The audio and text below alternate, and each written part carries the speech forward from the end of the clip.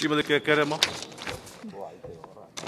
Sir Malayala cinema വ്യവസായ മേഖലയിൽ സ്ത്രീ പ്രവർത്തകർ നേരിടുന്ന ഗുരുതരമായ ചൂഷണങ്ങളെയും വിവേചനങ്ങളെയും ദുരിതങ്ങളെയും കുറിച്ച് പഠിക്കാൻ സർക്കാർ നിയോഗിച്ച ജസ്റ്റിസ് ഹേമ കമ്മിറ്റി തങ്ങളുടെ അന്വേഷണ റിപ്പോർട്ട് ബഹുമാനപ്പെട്ട മുഖ്യമന്ത്രിക്ക് സമർപ്പിച്ചിട്ട് രണ്ട് കൊല്ലവും രണ്ട് മാസവും കഴിഞ്ഞിരിക്കുന്നു.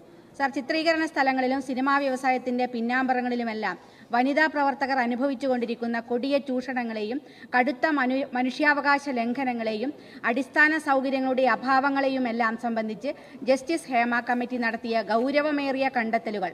രണ്ടായിരത്തി പത്തൊമ്പത് ജനുവരി മുപ്പത്തൊന്നിന് കൃത്യമായ തെളിവുകൾ സഹിതം മുന്നൂറ് പേജുകളുള്ള അന്വേഷണ റിപ്പോർട്ടായി ഈ സർക്കാരിന് മുന്നിൽ സമർപ്പിക്കപ്പെട്ടിട്ടും. ആ റിപ്പോർട്ട് പുറത്തുവിടാനോ അതിന്മേൽ സത്വര നടപടികൾ സ്വീകരിക്കാനോ തയ്യാറാവാതെ റിപ്പോർട്ട് മൂടിവെക്കപ്പെട്ടിരിക്കുകയാണ് അഭിനയമടക്കമുള്ള സിനിമാ സിനിമാ വ്യവസായത്തിലെ വിവിധ തൊഴിൽ മേഖലകളിൽ വനിതാ പ്രവർത്തകർ നേടുന്ന ലൈംഗിക ചൂഷണങ്ങൾ അനുഭവങ്ങളെക്കുറിച്ച് കമ്മീഷന് മുന്നിൽ നിരവധി പേർ മൊഴി നൽകിയ വിവരങ്ങൾ ഇതിനോടകം തന്നെ വെളിപ്പെട്ട് കഴിഞ്ഞിരിക്കുകയാണ്. സിനിമയിൽ അവസരങ്ങൾ ലഭിക്കുന്നതിന് ലൈംഗിക ചൂഷണത്തിന് വിധേയയാവാൻ നിർബന്ധിക്കുന്ന കാസ്റ്റിംഗ് കൗച്ച് അടക്കമുള്ള സെക്സ് റാക്കറ്റ് പ്രവർത്തനങ്ങൾ മലയാള സിനിമാ വ്യവസായത്തിനുള്ളിൽ സജീവമാണെന്ന അതിഗുരുതരമായ ആരോപണങ്ങൾ. ചലച്ചിത്ര മേഖലയിലെ പ്രമുഖ നടികൾ തന്നെ നമ്മുടെ മീഡിയ ചർച്ചകളിൽ പരസ്യമായി ഉന്നയിച്ചു കഴിഞ്ഞു.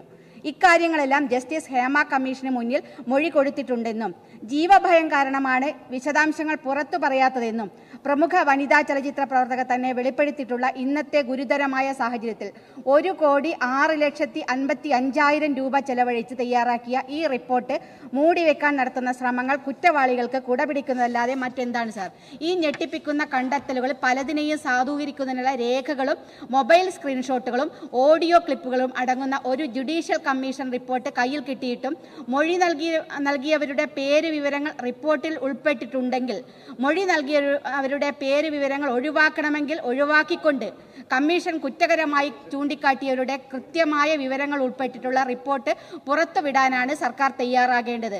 നിരോധിത ലഹരി ഉൽപ്പന്നങ്ങളുടെയും മയക്കുമരുന്നുകളുടെയും എല്ലാം ഉപയോഗം മലയാള സിനിമാ വ്യവസായത്തിന്റെ പിന്നാമ്പുറത്ത് വ്യാപകമാണെന്ന ഗൗരവമായ കണ്ടെത്തലുകൾ അടക്കം ബഹുമാനപ്പെട്ട ജസ്റ്റിസ് ഹേമയുടെ അന്വേഷണ റിപ്പോർട്ടിൽ ഉൾപ്പെട്ടിട്ടുണ്ടെന്നാണ് മനസ്സിലാക്കുന്നത്. കൊഗനൈസബിളായ ഇത്തരം ഒഫൻസുകൾ തെളിവുകൾ സഹിതം ഉൾപ്പെടുത്തിയിട്ടുള്ള റിപ്പോർട്ടിന്മേൽ യാതൊരു നടപടിയും സ്വീകരിക്കാതെ കേവലമായ സാങ്കേതിക കാരണങ്ങളുടെ പേരിൽ ഈ അന്വേഷണ റിപ്പോർട്ട് മൂടിവെക്കപ്പെടാൻ ശ്രമിക്കുന്നത് തീർച്ചയായിട്ടും ഒരു ജനാധിപത്യ സർക്കാരിന് ഭൂഷണമല്ല. അടിയന്തരമായി ജസ്റ്റിസ് ഹേമ കമ്മീഷൻ റിപ്പോർട്ട് പുറത്തുവിടാൻ തയ്യാറായില്ലെങ്കിൽ അത് സ്ത്രീകളുടെ അന്തസ്സിനും ആത്മാഭിമാനത്തിനും വില കൽപ്പിക്കാത്ത നിലപാടായി വ്യാഖ്യാനിക്കപ്പെടും എന്നത് തീർച്ചയാണ്.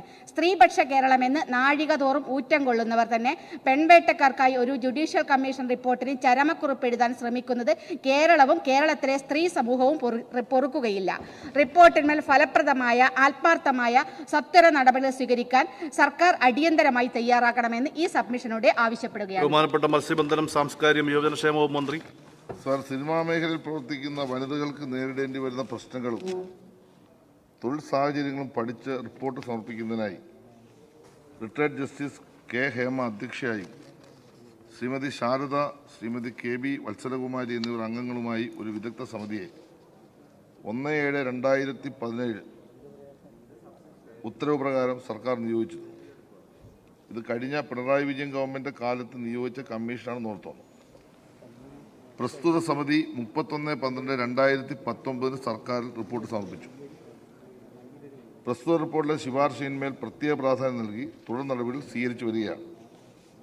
ഈ സർക്കാർ അധികാരത്തിൽ വന്നതിന് ശേഷം ബഹുമുഖ്യമന്ത്രിയുടെ നിർദ്ദേശപ്രകാരം പതിമൂന്ന് ഏഴ് രണ്ടായിരത്തി ഇരുപത്തൊന്നിന് സാംസ്കാരിക വകുപ്പ് മന്ത്രിയായ എന്റെ അധ്യക്ഷതയിൽ വകുപ്പിന്റെ പ്രിൻസിപ്പൽ സെക്രട്ടറി ചലച്ചിത്ര അക്കാദമി ചലച്ചിത്ര വികസന കോർപ്പറേഷൻ സാംസ്കാരിക പ്രവർത്തക ക്ഷേമനിധി ബോർഡ് എന്നിവയുടെ പ്രതിനിധികൾ നിയമവകുപ്പ് സെക്രട്ടറി എന്നിവരെ ഉൾപ്പെടുത്തി ഒരു യോഗം ചേരുകയും ഹേമാ സമിതി റിപ്പോർട്ടിലെ ശുപാർശകൾ സ്വീകരിക്കാവുന്ന തുടർ നടപടികൾ സംബന്ധിച്ച് വിശദമായി ചർച്ച നടത്തുകയും ചെയ്തിട്ടുണ്ട്.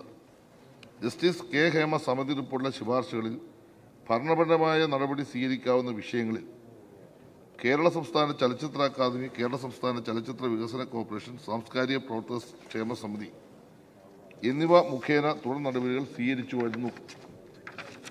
ഹേമ സമിതി റിപ്പോർട്ടിലെ പ്രധാന നിർദ്ദേശങ്ങൾ ചർച്ച ചെയ്യുന്നതിനായി ഡബ്ല്യു സി സി ഉൾപ്പെടെയുള്ള സിനിമാ രംഗത്ത് പ്രവർത്തിക്കുന്ന സംഘടനയുടെ യോഗം K S F D C ചലച്ചിത്ര അക്കാദമി എന്നിവരുടെ നേതൃത്വത്തിൽ ചേരുന്നതിന് തീരുമാനിച്ച് തീയതി നിശ്ചയിച്ചിട്ടുണ്ട്.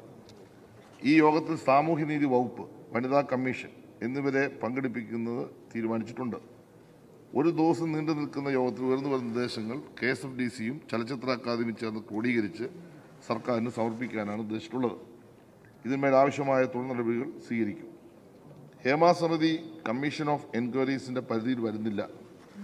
ബഹുമാനപ്പെട്ട അംഗം ഇത് പുറത്തുവിടണം എന്ന് പറഞ്ഞതിനെ പറ്റിയുള്ള ഭാഗമാണ് ആ ഇവിടെ ഞാൻ വിശദീകരിക്കുന്നത്. സിനിമാ മേഖലയിൽ പ്രവർത്തിക്കുന്ന സ്ത്രീകൾ തങ്ങളുടെ സ്വകാര്യ അനുഭവങ്ങൾ.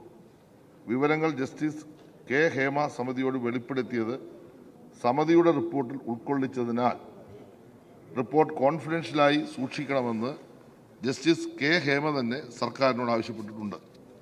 കൂടാതെ വ്യക്തികളുടെ സ്വകാര്യ വിവരങ്ങൾ ഉൾക്കൊള്ളുന്നതിനാൽ റിപ്പോർട്ട് അതേപടി പൊതുരേഖയായി പ്രസിദ്ധീകരിക്കാൻ കഴിയില്ലെന്ന്. ഇരുപത്തിരണ്ട് പത്ത് രണ്ടായിരത്തി ഇരുപതിലെ ഇരുന്നൂറ്റി മുപ്പത്തി ആറ് ഒന്ന് രണ്ടായിരത്തി ഇരുപത് ബാർ എസ് ഐ സി നടപടിക്രമം വഴി സംസ്ഥാന വിവരാവകാശ കമ്മീഷൻ ഉത്തരവായിട്ടുണ്ട്. എന്നാൽ ബഹുമാനപ്പെട്ട അംഗം ഉന്നയിച്ച പ്രശ്നത്തിന്റെ ഗൗരവം അതിനേക്കാൾ മെച്ചപ്പെട്ട നിലയിൽ ആ ഗൗരവം ഞങ്ങൾ ഉൾക്കൊണ്ടുകൊണ്ടാണ് നടപടികളുമായി പോകുന്നത്. സാർ ഇതിനകത്തൊരു പ്രശ്നം ഇതിനൊരു നിയമനിർമ്മാണം അനിവാര്യമാണ്. ഈ നിയമം നിർമ്മിക്കണമെങ്കിൽ ആ നിയമത്തിന് ആധാരമായിട്ടുള്ള എല്ലാ കാര്യങ്ങളും പരിശോധിച്ച് സഭയുടെ മുമ്പിലേക്ക് ആ വിഷയം വരേണ്ടതായിട്ടുണ്ട്. അതുകൊണ്ട് എടുത്തടിച്ച് ഒരു നിയമം നിർമ്മിക്കാൻ വേണ്ടിയുള്ള കാര്യങ്ങൾ പ്രായോഗികമായി ബുദ്ധിമുട്ടുണ്ട്. എന്നാൽ ഒരു നിയമം നിർമ്മിക്കുന്നതിന് വേണ്ടിയുള്ള നടപടികളുമായി മുന്നോട്ട് പോവുകയാണ്.